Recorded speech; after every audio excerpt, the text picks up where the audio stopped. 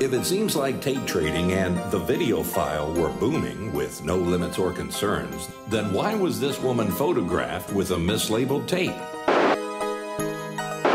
What secret message was this magazine cover sending?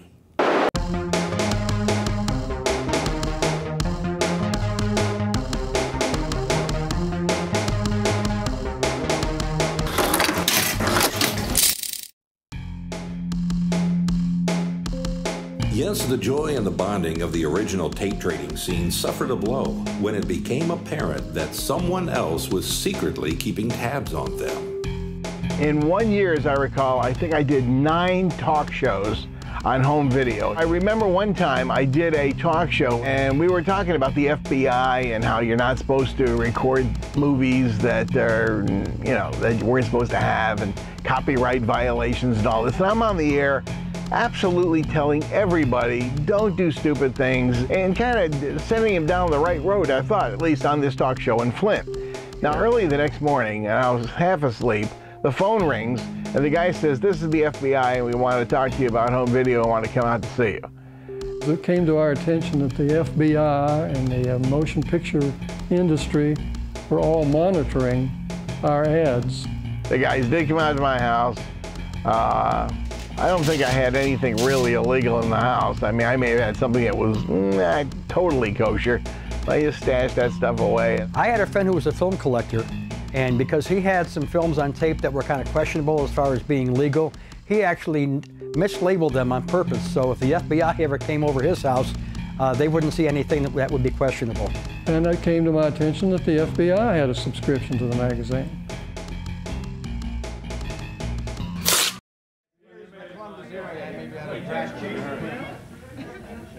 We, he, Glenn wouldn't come down. We asked Glenn to come down, but so you, you, we can't even get him at the other end of the room. He uh, Glenn Glenn is from from Columbus and he uh, refuses to come on camera. Uh, well, he's afraid he's afraid this table will fall into the wrong hands. That's right. Where, where is the uh, distribution on this? That's okay. It's going directly to the Federal Bureau of Investigation. We think from what we heard that there may have been an FBI agent or two at our last video con, and after that, we stopped doing it. None of us got in trouble, and we never got contacted. Again, nothing was being sold, so I don't think they could get us for just trading, but uh, we were worried about it, so we just stopped the conventions.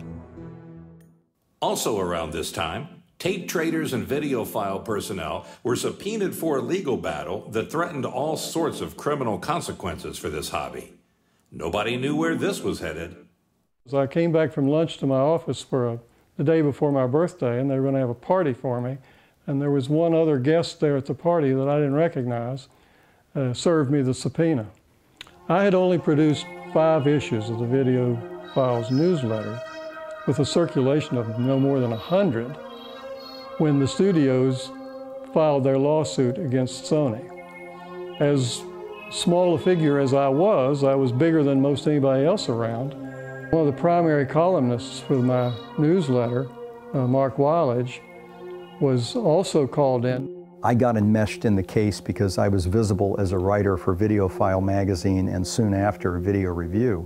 In 1976, when Sony started to advertise Betamax on commercial television, uh, they went to a variety of movie studios and said, we want to show clips of your movies in our TV commercials for Betamax as examples of things you can record off the air. And they went to Universal and said, we'd love to use, you know, like the Universal monster movies and just have some clips pop up on a TV set in the background. And Universal saw this and said, well, wait a minute, we're not sure we're, we're comfortable with this. But the uh, two or three floors of attorneys in Universal's Black Tower over there in North Hollywood, they were kind of put on red alert and they started thinking about this. And I believe it was by the end of 1976 or the beginning of 1977, Universal joined with Disney and sued Sony over Betamax, claiming that this was a facilitator of copyright infringement. It gave ordinary consumers a loaded gun to commit an act of crime, in this case, recording movies off the air. Now, we always believed that it was illegal to copy television shows and to duplicate them and reduplicate them and to sell them. That was not in dispute. The question was could you record these programs and invite a few friends over to your house to watch them? Well, they didn't like that either. I wound up testifying in federal court. Attorneys flew in here from Los Angeles, the, the big name attorneys for Sony and the studios. Gave two depositions, one for Sony and one for Universal. And they wanted uh, to know who all of my subscribers were. They wanted a list of all the tapes that were in my collection. The Universal attorney in federal court actually characterized me as a beta maniac. And they said, Well, do you have any Disney titles? Do you have any Universal titles? They had seized about 20 or 30 of my videotapes to use as evidence. Do you intend to record any Disney titles in the future? And I said, by the way, am I ever going to get those tapes back? So, well, how often do you have friends over to your house? And he said, well, actually, once we win this case against Sony, you're next. How many people do you have? I just told them I wasn't going to do that.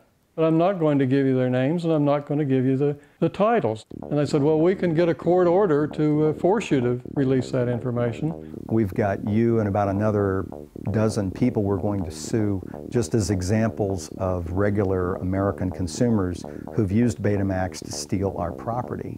But I had the advantage of being a lawyer myself, and I said, well, you're welcome to try that. And I was dumbstruck because I, I thought up to that point I was just uh, a witness to this weird historical happening.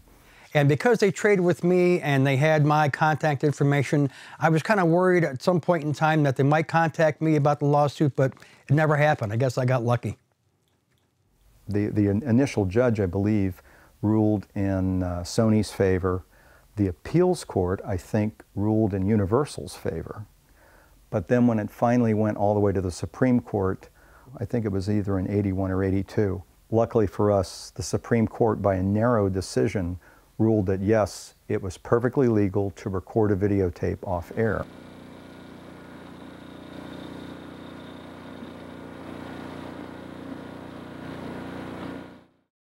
There was a break in the proceedings, and one of the attorneys uh, was engaging in casual conversation with me, which is not in the official record.